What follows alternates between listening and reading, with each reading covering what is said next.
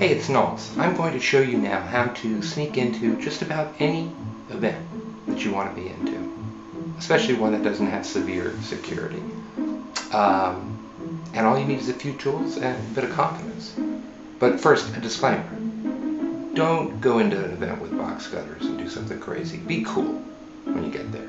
Second of all, recognize that some events are pretty tight. You may not be able to get through. And thirdly, if this works for you, um, help me out on an experiment because I understand that YouTube videos now are being seen and uh, being shared if people interact. So if you like what you hear uh, in this video, just comment or you know favorite it or, whatever else. I want to see if this thing gets a lot of comments, if it gets uh, more views than I've been getting lately. Okay, uh, without any further ado, rule number one in trying to get into places, and these are real tested uh, uh, tricks here. I've, I've tried these out and I've been able to get into concerts and to uh, very uh, elite diplomatic events in DC. Uh, first thing, the equipment. You would be surprised by simply carrying a clipboard and a walkie-talkie. It gives you a sense of authority, but it's not putting on a badge and pretending you're being somebody else. Just carry the clipboard, carry the walkie-talkie. When you're talking to people, give it an occasional beep as if someone important is trying to reach you. It doesn't have to be somebody on the other end. Secondly, be confident. Walk in like you own the place. Really, in your mind, just know that this event is your event and all these other people are being so helpful and wonderful. You don't have to be mean. Okay, once you get the tools and the confidence down, usually at an event, there are multiple parties, caterers, event planners, security, volunteers, and you can take advantage of the fact that not everybody knows everybody else. So you can use a name, like Debbie said we need to be over there at 9 o'clock. And they probably won't know who Debbie is, but they'll assume that there's a Debbie. Or better yet, listen for a little while and see if you can hear a name that's being thrown about. And then you can credit your uh, task to uh, an order that you've been given from Debbie or whoever else. Okay, what's next? Um, find entrances that are not like the front and center ones because those are usually well guarded with a lot of people. Better, you're better off with sort of a stage entrance, a VIP entrance, one that has maybe a guard, but there are a lot of people coming in and out.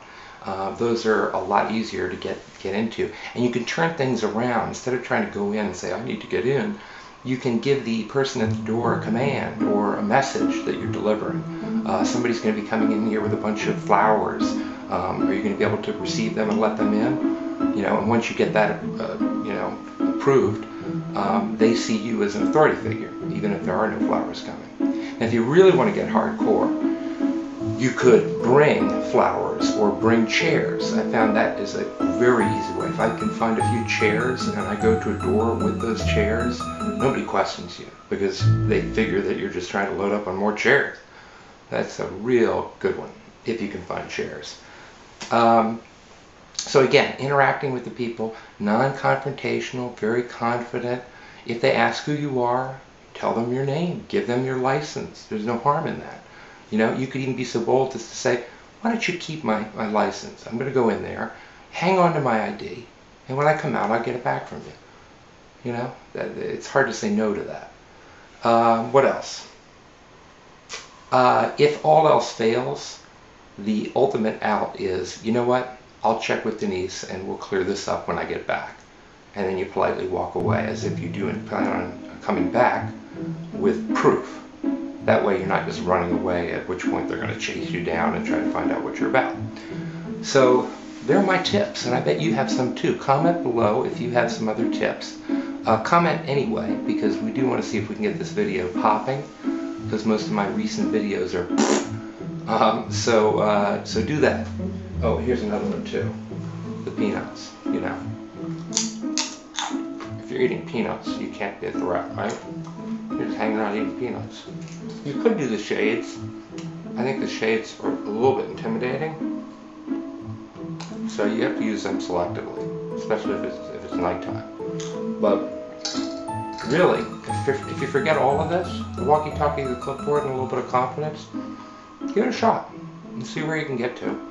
And don't do anything bad, and let me know what happens. In fact, I'll leave the video response open so you can respond with uh, any footage you get from, uh, you know, trying to walk onto an event that you're not supposed to be at, but you're curious what's going on inside. All right, thanks for watching. And I'm on the set of uh, a new series coming out, The Unlicensed Therapist. Stay tuned for that. Thanks.